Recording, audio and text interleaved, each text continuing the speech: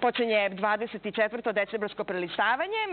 Ja sam Ivonja Pali se javila, e, izvinjela svima vama, sprečena je da dođe i tu nam je glumica Lena Bogdanović. Lena, dobro jutro, hvala što ste ovde. Dobro jutro i vama. Možda to što ste, recimo, Dušanovog Či pomogne da lakše e, prođemo kroz sve naslove. Učili ste se novinarstvo od malih nogu, podjednako koliko i tome da budete vrsna dramska umetnica. Hvala, hvala. A inače volim novine i e, još uvek sam sam retro tip, dakle, meni je dalje ritual da čitam novine ovako u komadu. Nažalost, svi prelazimo više na online izdanja i to je činjenica i budućnost, nepobitna, ali dok imamo ovako uz kaficu, ipak najlepši e, ritual za jutro. I kako čitate od početka, pa onako bistrite sve ili videte? Pa kako, koje, zavisi od koje novine su u pitanju, nekad od kraja, dakle, volim da pročitam i sportske vesti, pa kultura, pa onda sve ovo što je manje lepo i prijatno, odnosno ova naša stvarnost, a nekad uzmem baš obrnuto. Evo recimo sad prva strana, pa listam, kako kad.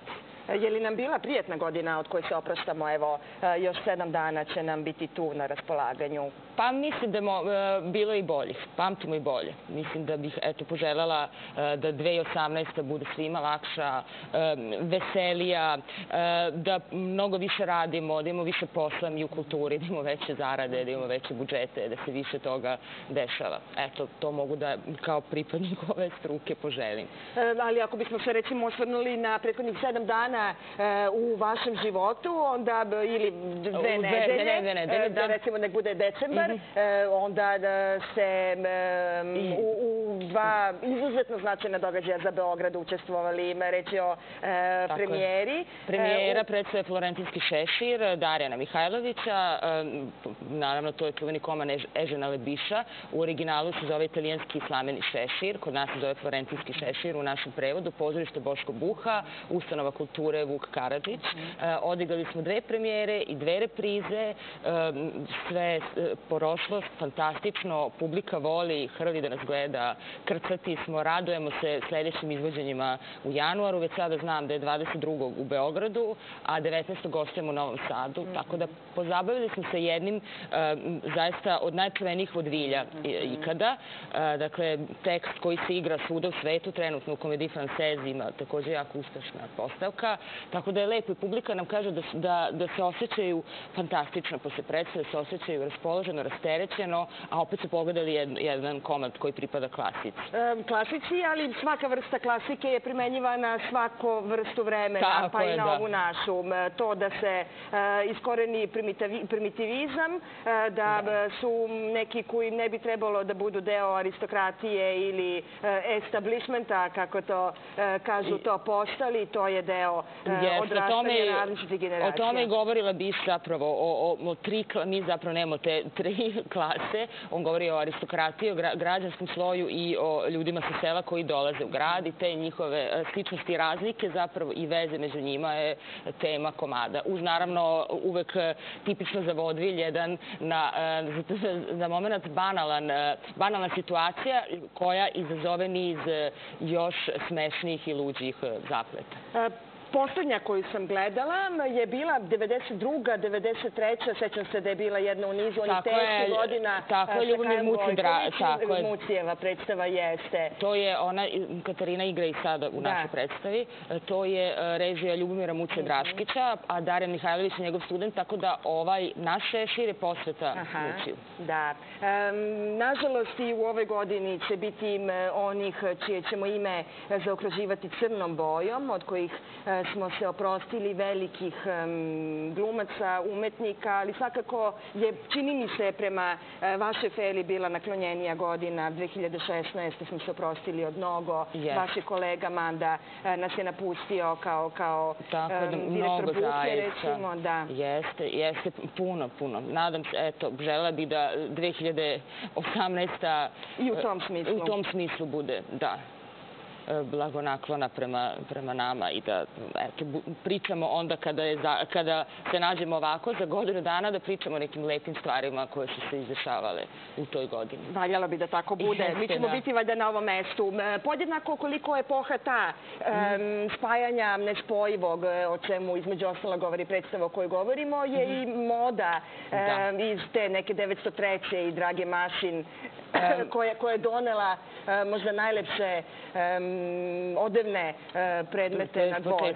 Da, da. Pa jeste, kod nas je um, u Florentinskom šeširu kostime radila Ivana Vasić. Zaista ima um, zanimljivo, pošto takođe se bavi um, trima klasama, pa dakle ljudi sa sela imaju svoj neki na, način kako su se oni obukli da otraju da dođu u grad. Uh, tu su građani, neki malo bogatiji sloj, tu su aristokrate. Mislim, beskreno zanimljivo uh, je bilo i za nju kao autora i za nas koji smo te kostime nosili. A što se tiče mode, takođe mm -hmm. i prilika kojom smo se okupili svi u petak, dakle, u organizaciji e, modnog studija Klik i Beogradske nedelje mode, hotela Moskva i Huawei-a bi jedan divan događaj koji je spojio zapravo eto, modu, umetnost, praznike e, i neki e, retro e, moment u kome su svi uživali. Koliko? 14 najboljih 14 dizajnera? 14 najboljih dizajnera, e, naših, najeminentnijih, svako sa nekoliko modela. Tema je bila upravo to glamur, praznici, Nova godina, svako je dao neko, neko svoje viđenje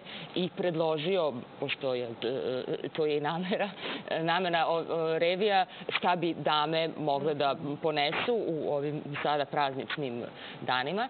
Ja sam nosila model Igora Todorovića, e, pored njega još, naravno, 14 njegovih kolega i zaista bilo predivno. U ambijentu e, sale Balkan, hotela Moskva, sve je zaista bilo bajkovito. I bilo je, e, Ana Sofrenović je mhm. vodila, bila je konferencije i radila je to na način kako se nekada održavale modne revije. Dakle, ona je objašnjavala svaki model, dakle, od materijala do izrade, do načina kako se nosi.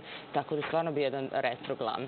Kako se biva glamuroznim e, u rano nedeljno jutro, negde oko 10 i 20? jako teško, ovaj, treba truda. E, meni je inače nedelja, e, kao i većini, dan za odmor, dan za, koji se provodi kod kuće, lenje se pije kafa, vrte se kanali, listaju se novine, eventualno se negde izađe pa se prošeta, ali opet sve nekako blizu kuće, tako da teško je biti glamurozan ovako rano, sad 10 sati rano, ali, ali nama jeste, ali dobro, zato su tu naši e, drugari dizajneri da nam pomognu sa idejama. e, baš, baš tako. Hoćemo da Hoćemo, ispoštujemo da. E, formu pod da. kojom smo e, se našle. Brega ima divan intervju u ovoj jutarnjem mm -hmm. blicu.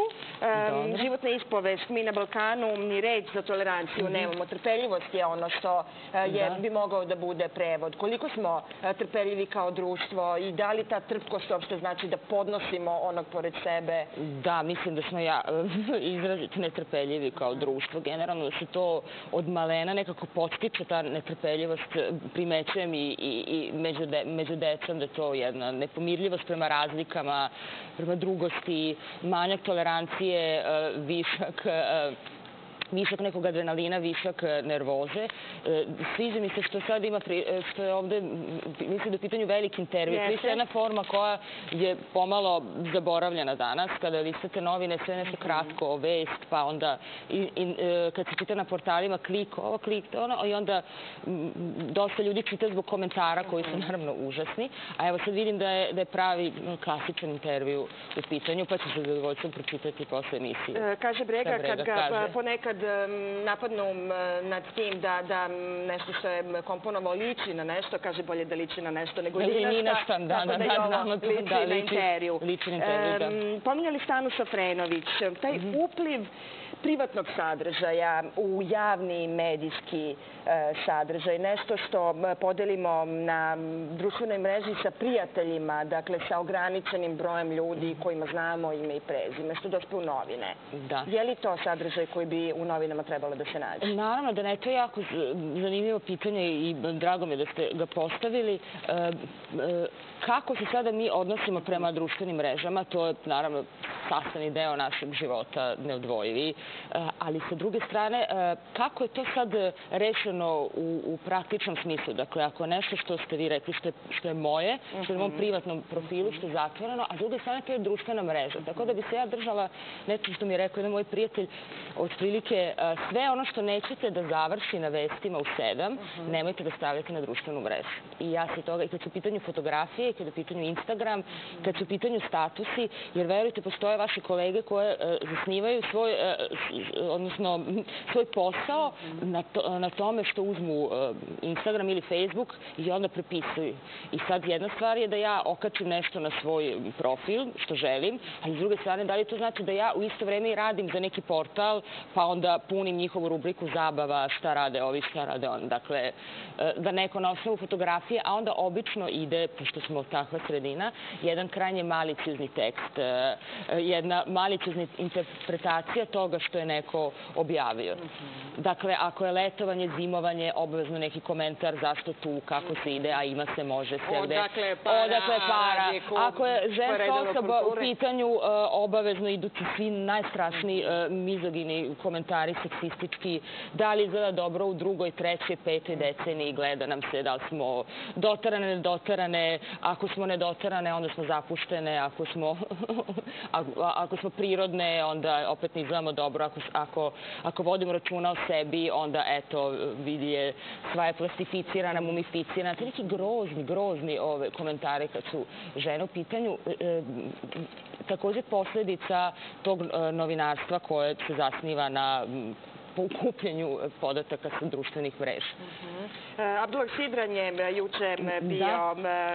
čitajući yes. sve genijalosti koje je napisao i ima tu jednu tezu o tome, volim ljude, ali ih ne podnosim. da, da, upravo tako. Čini se da bi to mogla da, da postane definicija naše stvarnosti, nekako ono što je ljudsko, stvarno, što je neljudsko, trebalo bi da nam bude strano, zar ne? Tako je, pa mislim da sada, upravo u savremenom svetu, to se izlazi drugačije. Ranije su se te stvari dešavale po kuloarima, u kafani, negde na ulici, govorimo o svim tim e, opaskama, komentarima, tračevima. Sad to imate online i dovoljno da ukucate, da kliknete. Svako ima pravo na svoje mišljenje, svako ima pravo da iza svog e, zaštićenog nekog nika ili nadimka da e, se odredi o bilo čemu što neko je, recimo vi i ja, imenom i prezimenom sada radimo, pa će možda neko da napiše iz krivenog identiteta neki malicizan komentar. E, o tome da se da. može biti čovekom u neljudska vremena preko Praga, jeste imali vremena da tu knjigu pročitate? Nisam, nisam, nisam. Preporučujemo je vašoj pa, pažnji. Da. Dobila je pre nekoliko dana, obećana je nagradom. Mi, Srbi, e, trebalo bi da naučimo da saslušamo jedni druge, jedna od tema e, u blicu ovog da. jutra. U našu sabornost treba uključivati razum, racionalnost, važno je moći ih teti slušati. Više slušanje, manje priče.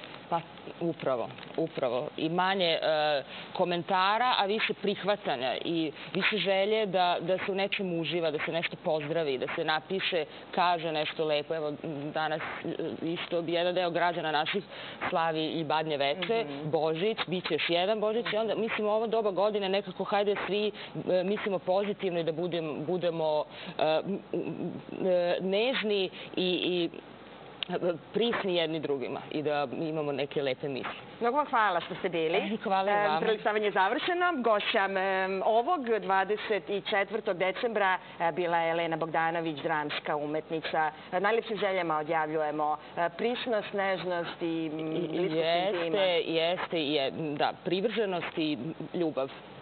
Hvala.